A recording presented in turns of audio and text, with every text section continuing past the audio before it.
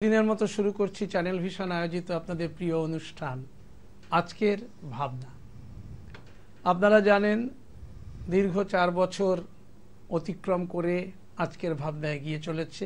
আপনারা জানেন, পশ্চিমবঙ্গের সাংস্কৃতিক অবক্ষয় এবং সাংস্কৃতিক প্রেক্ষাপটে মানে সাংস্কৃতিক মানোন্নয়ন এবং সুস্থ সংস্কৃতির প্রচার ও প্রসারে চ্যানেল ভিশন আয়োজিত আজকের ভাবনা অবশ্যই একটা নতুন পথের দিশারি। এবং আপনারা জানেন যে আমাদের অনুষ্ঠান শুধু বিভিন্ন বিষয়ের হয়। শুধু গান নয়, শুধু কবিতা নয়, নানান আলোচনা, নানান বিষয় ভিত্তিক বিষয় চলে আসে, বিভিন্ন বিষয়ের ওপর অনুষ্ঠান দাঁড়িয়ে আছে। কাজেই আপনারাও আমাদের সেই অনুষ্ঠান দীর্ঘদিন ধরে আপনারাও দেখেন, আমরাও অনুপ্রাণিত হই। আর আজকে প্রথমেই আমরা যে শিল্পীর সঙ্গে আগে আপনাদের পরিচয় করিয়ে দিই আর তার আগেও বলে দিই আজকের অনুষ্ঠান সম্পূর্ণ বাংলা গানের এবং স্বর্ণযুগের বাংলা গানের। আজকাল বহু শিল্পীরাই দেখবেন স্বর্ণযুগের বাংলা গানকে খুব সুন্দরভাবে সেই ধারাটাকে অক্ষুণ্ণ রেখেছেন। সেই ধারারই একজন শিল্পী দীর্ঘদিন ধরে সংগীত মহলে পরিচিত আমার বাঁদিকে শিল্পী মৌসুমী গুহ। নমস্কার। আর আমার ডান দিকে তবলায় অভিজিৎ চক্রবর্তী। আর একেবারে বাঁদিকে পার্কাশানে বিপ্লব সরকার। নমস্কার। আমরা এবার আর কথা বাড়াবো না সরাসরি শিল্পীর গানে চলে যাচ্ছি। আকাশ প্রদীপ জলে দূরের তারার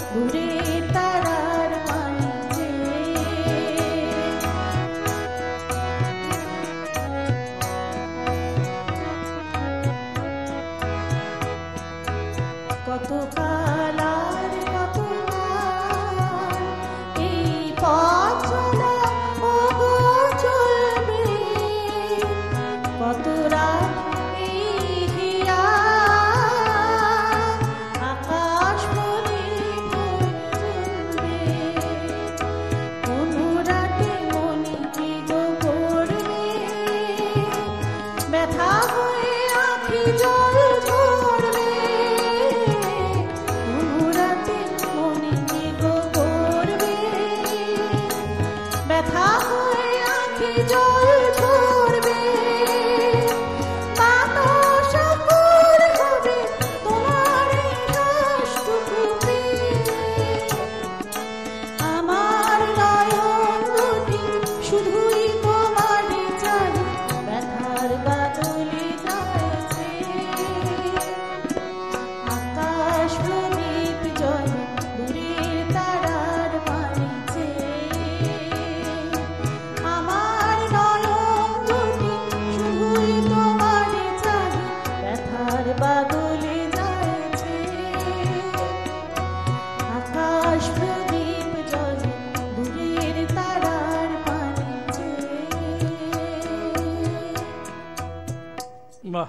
প্রথম গানটি গেয়ে শিল্পী নিশ্চয়ই পর্দার ওপারে যারা আছেন, তাদেরও মন ভরিয়ে দিয়েছেন।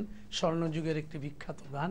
আমরা শিল্পীর কণ্ঠে, শিল্পী মৌসুমী গুহর কণ্ঠে পরবর্তী গানে চলে যাচ্ছি। এমন একটি ছিল খুঁজে পেলাম যাতে মুক্ত আছে এমন কোন মানুষ খুঁজে পেলাম না যার মন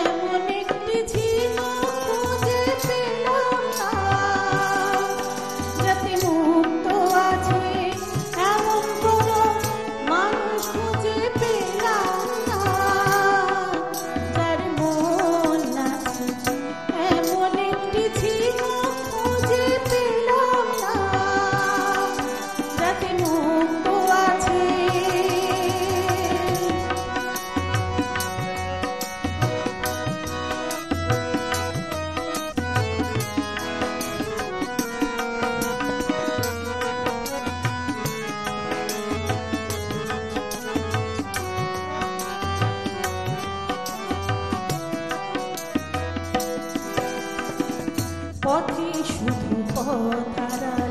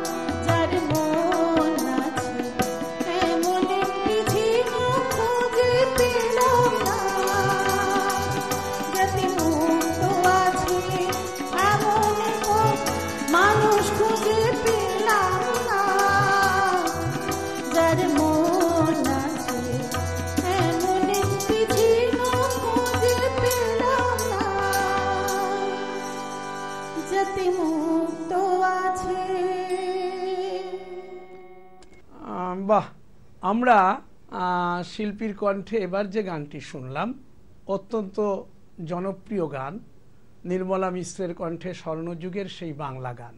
আর সত্যি কথা বলতে গেলে কি জানেন যে, তৎকালীন যে লেখা, যে গীতিকাররা যেভাবে লিখতেন, আমরা আজকাল কিন্তু সেই ছায়া পাই না। কোথাও বোধহয় যুগের একটা পরিবর্তন। সেখানে আমাদের যে গানের কথা ভেসে আসে, অনেক সময় আমাদের একটু তার সঙ্গে মানা মানিয়ে নিতেও হয়তো কষ্ট হয়। তবে যাই হোক, আর কোনো একটি অনুষ্ঠানে আমি এক সময় বলতে গিয়ে কোনো একটি কবিতার কটি লাইন বলেছিলাম। তো তখন একজন আমার কাছে দাবি করেছিলেন লেখাটি তার। এবং আরও জায়গায় আমি এ ও লিখছে, আমি জানি না লেখাটি যে কার, আমি আজ পর্যন্ত নিশ্চিন্ত হতে পারিনি। কিন্তু লাইনগুলো ঠিক এরকম, মায়ের ইচ্ছে ইঞ্জিনিয়ার, বাবার ইচ্ছে ডাক্তারি, জেঠুর ইচ্ছে উকিল হব, কাকার ইচ্ছে মাস্টারি। ইচ্ছেগুলোই কেমন যেন। শুনেই আমি থ। কেউ আমাকে বলল না কো খোকা, মানুষ।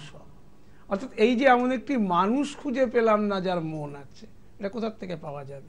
আমাদের সঠিক শিক্ষা। আমি সবসময় একটা কথা বলি, শিক্ষা সংস্কৃতির মেলবন্ধনই আমাদের চলাচল। রবীন্দ্রনাথ বলতেন, কোমল হীরের টুকরোকে বলে বিদ্যে, তার থেকে যে জ্যোতি ঠিকরে বেরোয়, সেটাই কালচার আর আজকের ভাবনার এটাই সম্পদ। যার জন্য আমরা আজকের ভাবনা দেখবেন যে কোনো শিল্পী আনতে গেলে তার যোগ্যতা মান, তার সঠিক পরিবেশন, সমস্ত বিচার বিবেচনা করে একটি অভিযোগ এলেও আমরা সেই শিল্পীকে দ্বিতীয় দিন জায়গা দেই না। কাজেই আপনারা জানেন, আমরা আমাদের, এটা আমাদের দাম্ভিকতা বলতে পারেন, আমাদের চলাচলের পথ বলতে পারেন, আমরা সঠিকভাবে পশ্চিমবঙ্গের সাংস্কৃতিক জগৎটাকে পরিচালিত করতে করার চেষ্টা করি। অন্য চ্যানেল কে কি করে আমাদের ভাবার বিষয় নয়। আমরা শিল্পীর পরবর্তী গানে যাচ্ছি।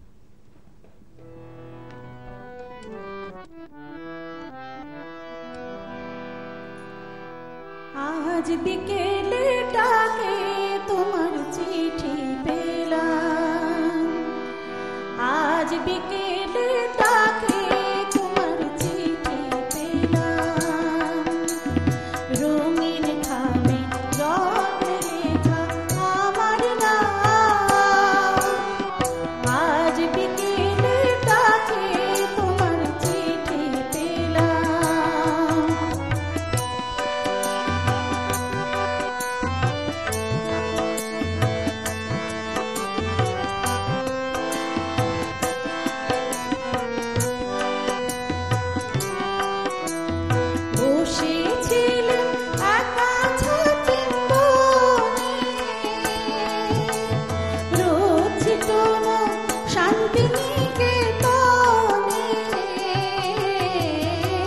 she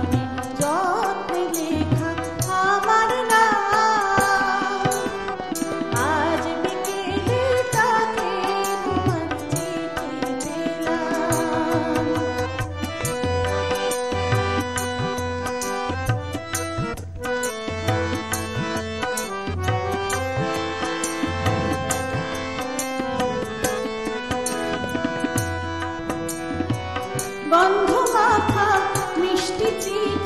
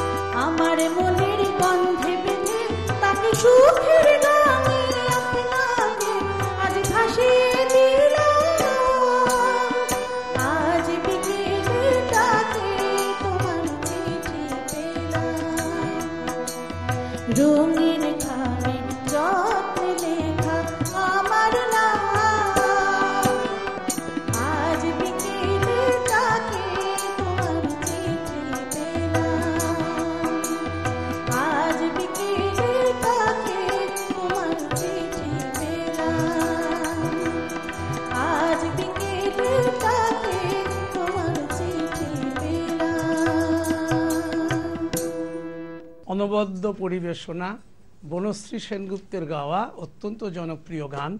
আর একটা কথা কি দেখুন, এই যে গানের কথাগুলো দেখুন, আজ বিকেলের ডাকে তোমার চিঠি পেলাম।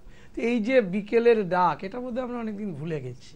কারণ ইদানিংকালে ফেসবুক নামক যন্ত্রের যে আবিষ্কার, মানুষকে সেটার মধ্যে বুথ করে রেখেছে। আরেকটা বিষয় কি, মানুষ যেন কোথাও মানবিকতাও হারিয়ে ফেলছে। অনেক ক্ষেত্রেই দেখা যায়, কোনো কিছু ভালোভাবে খাচ্ছে সে খাওয়াটাও ফেসবুকে পোস্ট হয়ে যাচ্ছে। অথচ একটা শিল্পীর যে মূল দায়িত্ব, যে সমাজের প্রতিটি মানুষ যাতে ভালো থাকে, তারও যাতে খাওয়া পড়া দুবেলা অন্যের সংস্থা নয় অথচ তাকেই হয়তো ফেসবুকে পাঠানো হচ্ছে, দেখো, আমি এত এত খাচ্ছি। আবার দেখা যায় দেশের যখন কোনো বড় বড় সভা মিটিং এমন কিছু হচ্ছে, বড় বড় নেতৃত্ব বসছেন অনেক খাওয়ার লিস্ট খবরের কাগজ বার করতে শুরু করেছে। যাকে, সেটা ছেড়ে দিই, খবরের কাগজে আমি ঢুকছি না। কিন্তু এই যে ফেসবুক নামক যন্ত্র আমাদের কিন্তু শিল্পীদের একটা দায়বদ্ধতা থেকে সামাজিক। শুধু গান বাজনা নয়, সঙ্গে সমাজটাকে সুন্দর করা। গানটা কিন্তু মানুষের মনকে, হৃদয়কে আরও প্রসারিত করার জন্য, ফেসবুকে খাবারের ছবি দেখানোর জন্য নয়। সে ডাকের দিনগুলোই বোধহয় সেই জন্য মনে হয় অনেক ভালো ছিল। যাই হোক, আমরা শিল্পীর কণ্ঠে পরবর্তী গানে যাচ্ছি। মাধবী মধুপে হলো মিতালি। এই বুঝি জীবনে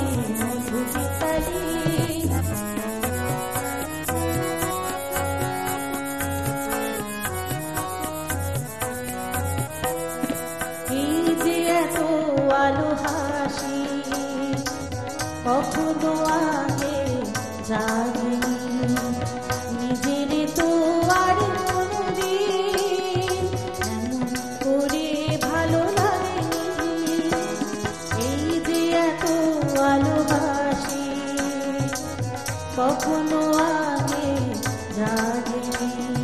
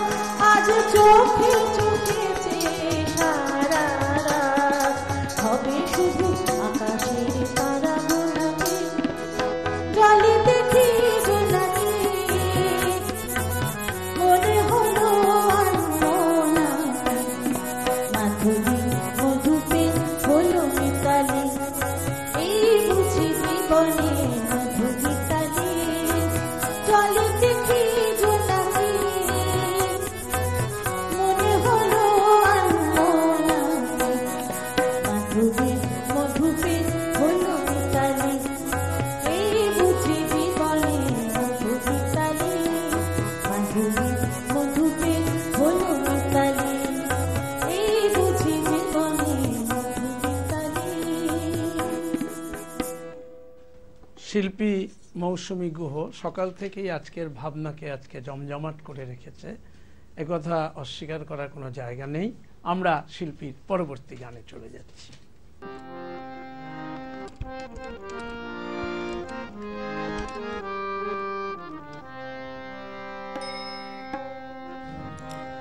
সাত রঙা এক পাখি, পাতার ফাঁকে ডালে ডালে ডাকাডা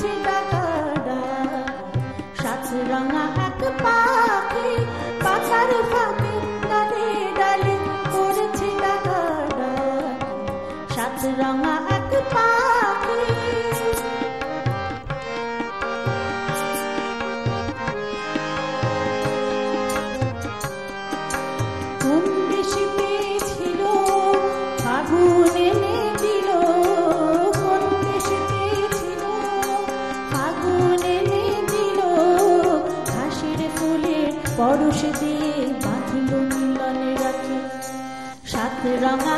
পাখি পাতার ফাঁকে ডালে ডালে করেছে ডাকা সাথে রঙা এক পাখি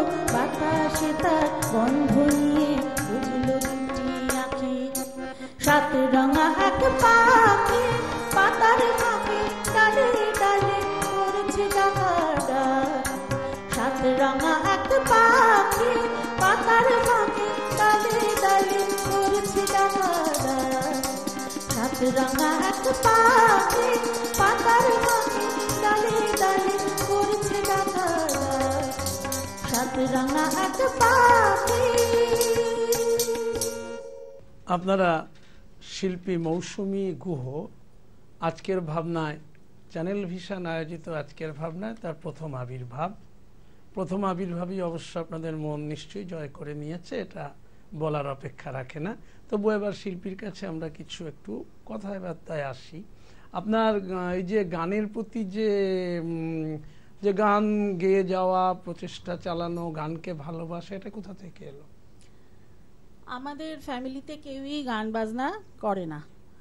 মানে সব ডাক্তার, ইঞ্জিনিয়ারের ফ্যামিলি। তার মধ্যে আমার বাবা ব্যতিক্রম এবং আমার মা ব্যতিক্রম। আমার বাবার নাম স্বর্ণযুগের গানে আমার বাবার নাম আছে, তেজুময় গুহ।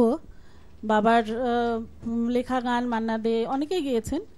তো স্বর্ণযুগের গানে মান্নাদের তো আছে ওনার গান।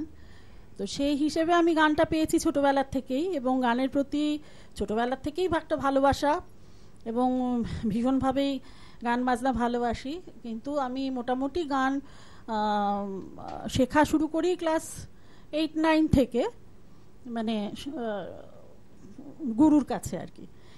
তো ওরকমভাবে শুরু করি। তারপরে যখন ক্লাস ইলেভেনে পড়ি সেই সময় থেকে আমি মিউজিক নিয়ে পড়াশুনো করি। ইলেভেন থেকে তারপর বিএ পাশ করে তারপর আমি আহ, রবীন্দ্র ভারতীর থেকে মিউজিক নিয়ে আমি এম এ পাশ করি। আচ্ছা তো এইটা যেমন ধরুন তাহলে অন্তঃসলীলা ফলগু বলা যেতে পারে।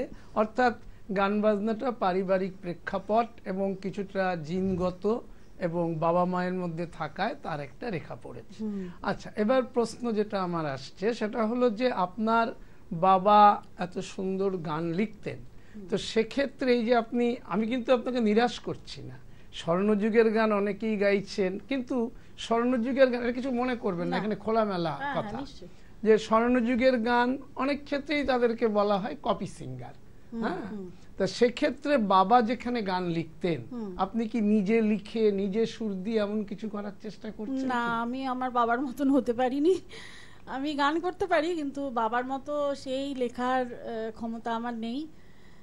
বাবা যেরকম ঠিক আছে বুঝতে পেরেছি।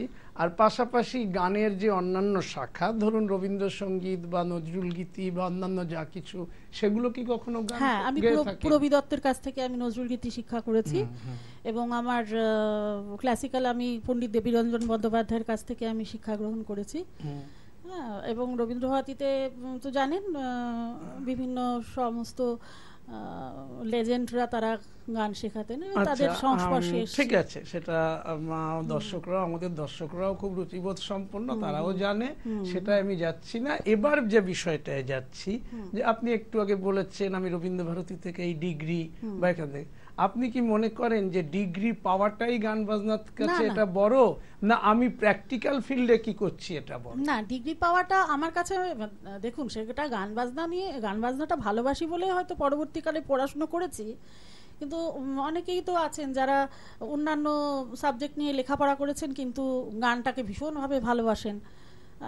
তারা সেরকম ভাবে গান চালিয়ে গেছেন এবং নামও করেছেন। নাম করেছেন হ্যাঁ। কিন্তু আজকাল অনেককে যখন বলতে শোনা যায় আমি অমুক কেন্দ্র থেকে সপ্তমী আর অমুক অথবা গান যখন গাইতে যাচ্ছে তার গলা দিয়ে সুর বেরোচ্ছে না। হারমোনিয়াম বাজাতে পারছে না। অথচ অমুক কেন্দ্র থেকে ষষ্ঠ ইয়ার দেখুন আমি খুব স্পষ্টবাদী হ্যাঁ। মানুষ কিছু এটা হ্যাঁ। পশ্চিমবঙ্গের সাংস্কৃতিক জগৎ আমাকে জানে হ্যাঁ। তাতে আমার সোজা কথায় কোনো কষ্ট নেই হ্যাঁ, স্পষ্ট কথায় হ্যাঁ। কষ্ট নেই সুতরাং এই যে বলে অনেকে মানে অহংকার প্রকাশ করে থাকে অথচ গান গাইতে গেলে দেখা যাচ্ছে আরে বাবা এই আবার কিসের সপ্তম হ্যাঁ, বর্ষ হ্যাঁ, কিসের ষষ্ঠ বর্ষ তাহলে এইগুলো কি কিছুটা রবীন্দ্রনাথ বলতেন অল্প মূল্য দিয়ে চুরি করা খ্যাতি ভালো নয়। ভালো নয় নকল সে শৌখিন মজদুরি। তাহলে নকল শৌখিন মজদুরি কি আপনি পছন্দ করেন? আমি একদমই পছন্দ করি না। আচ্ছা। আমি গানটাকেই গানটার ওপরেই আমি ফোকাস সবাইকে রাখতে বলব এবং ভালোভাবে গানটা চর্চা করা এবং দেখুন গানটা সারা জীবন থাকে মানুষের সাথে। হ্যাঁ মানে আমৃত্যু কিন্তু গান কিন্তু আপনাকে ছেড়ে যাবে না। না কিন্তু আপনার বাবা যখন লিখতেন কারও কারও লেখায় সুর দেওয়ার চেষ্টা কি আপনি করবেন না? কিছু ক্রিয়েটিভ কাজকর্ম করার কি ক্রিয়েটিভ বলতে আমি অ্যাকচুয়ালি বাচ্চাদের নিয়ে কিছু করেছি। বাচ্চাদের গান বাচ্চাদের সাথে করি কিন্তু তার বাইরে মানে বাবার লেখাতে আমার সুর দেওয়ার মানে আমি চেষ্টা করিনি আমার ধৃষ্টতা নেই। আমি চেষ্টা করিনি কেন? বাবার সুরে বাবার গানে লেখাতে প্রচুর মানে নাম করা যারা আর কি গীতিকার সুরকার আর কি তারা সুর দিয়েছেন বলে আমি আমি আর ওইদিকে কিছু এ করি না। ঠিক আছে অনেক ধন্যবাদ আপনাকে। আপনার মূল্যবান সময় নষ্ট করে আমাদের আজকের ভাবনায় আপনি এসছেন চ্যানেল ভিশন আয়োজিত। চ্যানেল ভিশন আয়োজিত আজকের ভাবনাতে আবার আরেকদিন আপনাকে আসার আমন্ত্রণ জানিয়ে আচ্ছা, রাখলাম। ধন্যবাদ। আর সেই সঙ্গে ভালো লাগল। আচ্ছা। হ্যাঁ। সেই সঙ্গে শিল্পী মৌসুমী গুহ অভিজিৎ চক্রবর্তী ও বিপ্লব সরকারকে সঙ্গে নিয়ে আমি তাপস নাগ। আজকের মতো আপনাদের কাছ থেকে বিদায় নিচ্ছি। কিন্তু যাবার আগে প্রতিদিন যা বলে যাই, আগামীকাল ঠিক সকাল সাতটা তিরিশ মিনিটে আবার দেখতে ভুলবেন না। চ্যানেল ভিশন আয়োজিত আপনাদের এই প্রিয় অনুষ্ঠান, জনপ্রিয় অনুষ্ঠান। যে অনুষ্ঠান প্রতিদিন আপনাদেরকে মাতিয়ে রাখে, কিছু শিক্ষামূলক বিষয় আপনাদের সামনে এনে থাকে এবং যে অনুষ্ঠানে আপনারা একটা বৈচিত্র্য লক্ষ্য করে থাকেন, যে শুধুমাত্র কিছু গান হয়ে গেল, কিছু কবিতা হয়ে গেল, কিছু আবৃত্তি হয়ে গেল, বা কিছু নাচের অনুষ্ঠান হয়ে গেল, তা কিন্তু নয়। এবং বহু বিষয়ের ওপর আপনারা অনেক আলোচনাও এখানে পেয়ে থাকেন নানাবিধ। যাই হোক আজকের মতো আপনাদের কাছ থেকে বিদায় নিচ্ছি। আগামীকাল ঠিক সকাল সাতটা তিরিশ মিনিটে আবার দেখতে ভুলবেন না। চ্যানেল ভিশন আয়োজিত আপনাদের প্রিয় অনুষ্ঠান, আজকের ভাবনা। নমস্কার। চ্যানেল ভিশন আয়োজিত গান, কবিতা, সাহিত্য ও আড্ডার এক অভিনব অনুষ্ঠান, আজকের ভাবনা। অনুষ্ঠানে উপস্থিত থাকবেন বিশিষ্ট আবৃত্তিকার তাপস নাগ। অংশগ্রহণের জন্য যোগাযোগ করুন স্ক্রিনে দেওয়া নাম্বারে। অনুষ্ঠানটি দেখুন প্রতিদিন সকাল সাতটা তিরিশ মিনিটে। চ্যানেল ভিশন আয়োজিত গান, কবিতা, সাহিত্য ও আড্ডার এক